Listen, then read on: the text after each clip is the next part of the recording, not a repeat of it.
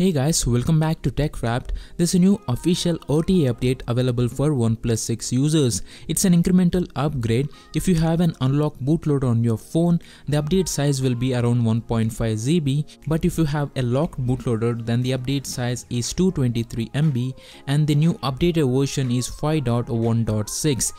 The update is being pushed in batches for now so if you haven't got the update notification, download any VPN app like Windscribe, change the country to EU region like Germany or France, enable the VPN, go to settings, system updates and check for updates again. As you can see we got the update, now you can switch off the VPN and continue downloading and installing the update. I have manually downloaded the update so let's see how you can flash it.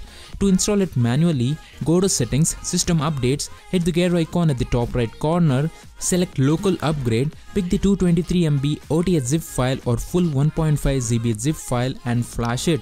Do note that you can only upgrade to later versions this way. If you are using some older version OTA file, this method won't work. The installation process took about 1 or 2 minutes. So let's wait and see and now we are done updating our phone. Let's go to the settings about phone from system and as you can see the Oxygen OS version is 5.1.6 and the security patch level is still of May 1. OnePlus brought couple of changes with this update. First one is regarding the network. With 5.1.6 update, users from India can make VoLTE calls through Idea network and few stability issues for dual SIM cards are also fixed. The call quality is also optimized. Under SIM and network settings now we can find dual 4G network option and as you can see dual 4G feature is working just fine as both my Airtel SIM and Jio SIM are currently on 4G network. The biggest change with this update is regarding the camera. Now portrait mode has been enabled for the front selfie camera. When you go into the selfie camera options, you can find portrait mode just next to the photo tab. As you can see, it is working just fine and light bokeh effect has been added for the rear camera portrait mode.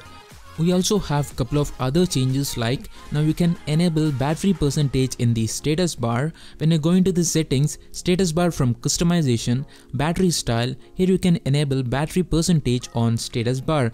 There are few improvements for the ringtone volume and the sound quality is also improved with this update. Now we can also schedule do not disturb mode. Here in the same sound and vibration settings, you can find do not disturb mode preferences. Here you can switch on the do not disturb mode. You can schedule when to switch on and off the do not disturb mode and couple of other behavioral settings related to the do not disturb mode. The update also includes couple of optimizations for power consumption and improvements for the system stability. And finally, under earphone mode within the Bluetooth tab, you can find smart answer for Bluetooth. When it is switched on, the incoming calls will be automatically answered when connecting Bluetooth devices. Regarding benchmarks, Antutu version 7 score is 2,86,775 with Geekbench 4 single core score is 2421 and multi-core score is 9004 with NenaMark 2 it is 59.9 frames per second. So that's all about the new OD update for OnePlus 6. If you guys have any questions related to OnePlus 6, do let me know in the comment section below. Thanks for watching and I will see you soon in my next video.